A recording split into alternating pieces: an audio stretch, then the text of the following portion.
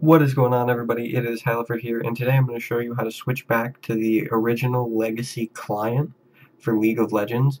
Uh, if you can see here I'm on the beta edition of the client.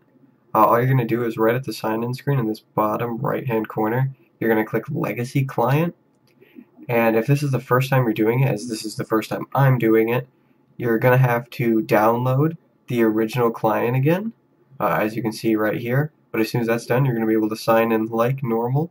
If you guys found this helpful, please give this video a thumbs up. And as always, thank you guys for watching.